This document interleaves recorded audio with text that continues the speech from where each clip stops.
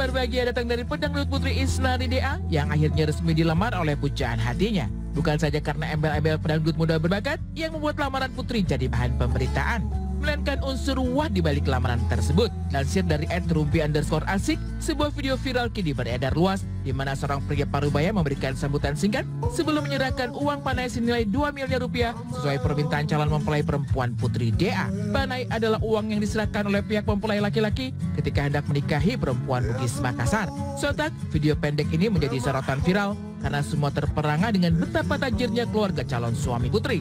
Pria yang diduga calon mertua Putri dalam video dengan santai dan tampil sederhana menyerahkan uang bernilai fantastis 2 miliar. Siapa keluarga calon putri sebenarnya? Benarkah keluarga sang calon suami adalah raja tampang dari timur yang bergelimang harta?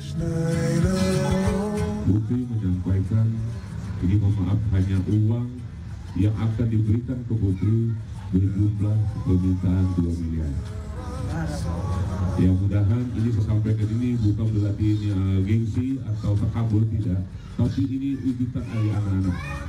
Saya akan mewujudkan apa pun dan bagaimanapun supaya anak saya keduanya bahagia. Dan semoga harapan kita bersama anak ini selalu bahagia.